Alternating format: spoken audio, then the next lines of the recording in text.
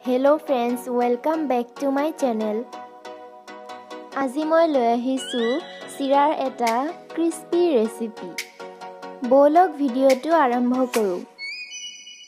প্ৰথমতে এখন কেৰাহীত প্ৰয়োজন অনুসৰি চিৰা লৈ লৈছোঁ আৰু চিৰাখিনি কুৰকুৰীয়া হোৱালৈকে ভাজি লৈছোঁ। মই ইয়াত চিৰাখিনি একেবাৰে ৰঙচুৱা কৰি লোৱা নাই।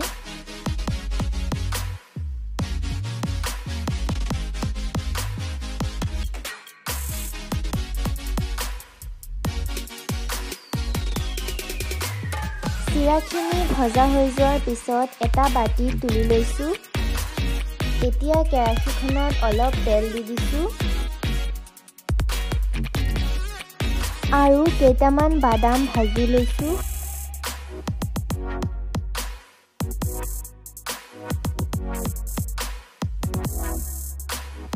বাদামখিনি ৰঙচুৱা হৈ যোৱাত এইখিনি তুলি লৈছোঁ।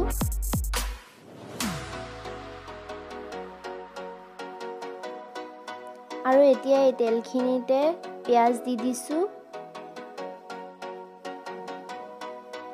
আৰু লৰাই লৈছোঁ।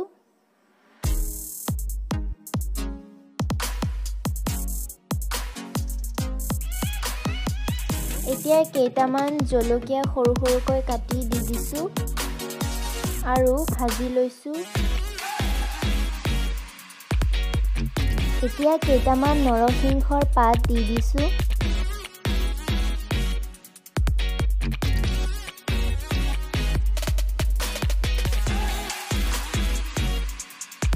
এতিয়া প্ৰয়োজন অনুসৰি নিমখ হালধি গুড়ি জলকীয়াৰ গুড়ি দি ভালদৰে লৰাই লৈছোঁ।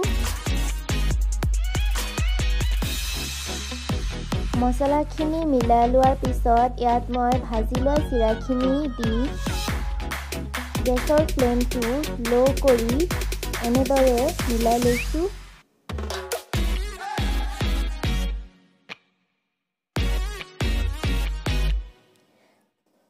এনেদৰে অলপ সময় ভাজি লোৱাৰ পিছত বাদামখিনি দি দিছোঁ। আৰু লৰাই লৈছোঁ।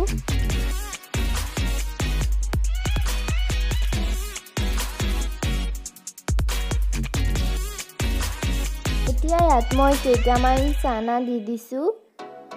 আৰু এইখিনিক আকৌ এবাৰ মিলাই লৈছোঁ। এতিয়া এইখিনিক এটা বাতিত তুলি লৈছোঁ। আৰু এয়া আমাৰ চিৰা ভজা খাবলৈ ৰেডি হৈ গ'ল। যিসকলে চিৰা খাই ভাল পায় ৰেচিপিটো ঘৰত ট্ৰাই কৰিব আৰু মোক জনাবলৈ নাপাহৰিব। আজিৰ ভিডিঅ'টো যদি ভাল পাইছে প্লিজ এটা লাইক কৰি দিব আৰু মোৰ চেনেলটো ছাবস্ক্ৰাইব কৰি দিব। ভিডিঅ'টো চোৱাৰ বাবে ধন্যবাদ।